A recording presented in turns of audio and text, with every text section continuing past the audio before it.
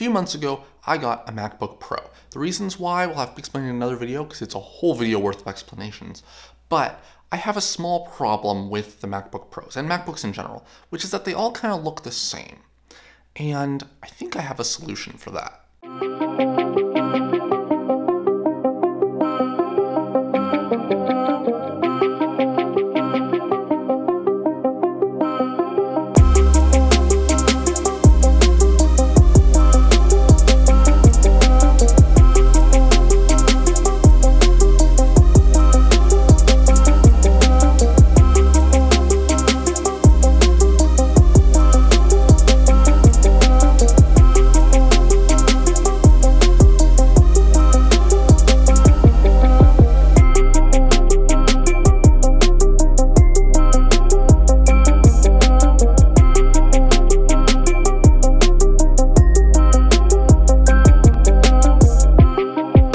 Now the solution is simple. You put a skin on it. There's a lot of companies out there that do it. There's Dbrand, there's Slick Wraps, there's Colorware.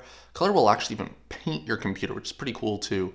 I decided to get a skin and I got it from Dbrand uh, just because I've used them in the past and they worked out all right. I've also used ones from Slick Wraps and they're just fine too. They're all pretty good. Um, and I got one that was going to make my MacBook stand out. It was going to look different from everyone else's MacBook out there because I don't want to be in a position where someone thinks my laptop is theirs or I think my laptop is someone else's.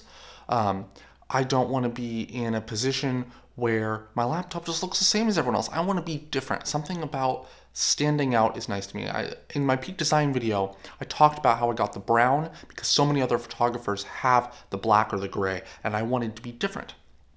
Um, and that's something that I kind of wanted to continue with uh, my process of getting a skin for the laptop. I wanted something that was going to look different from what everyone else had.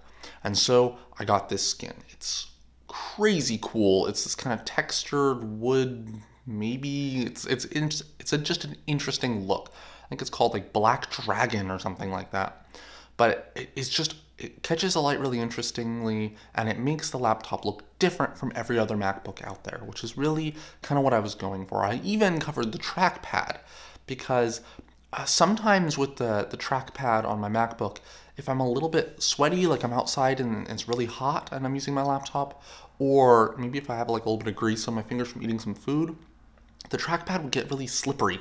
Um, and I wasn't a big fan of that, so I wanted to put a little bit more texture on it, even though the glass trackpads are really nice, because sometimes uh, I just need a little bit more grip, and it allows me to be a little bit more precise by using this surface that's textured, uh, and I went with like a black metal kind of look for that.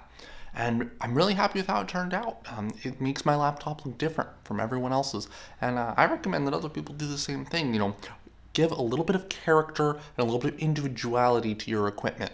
Make it really yours, you know? So hopefully you enjoyed this video. I know I enjoyed making it. Uh, if you did, go ahead, you know, like, subscribe, check me out on Instagram, all that cool stuff. And uh, yeah, until next time, toodles.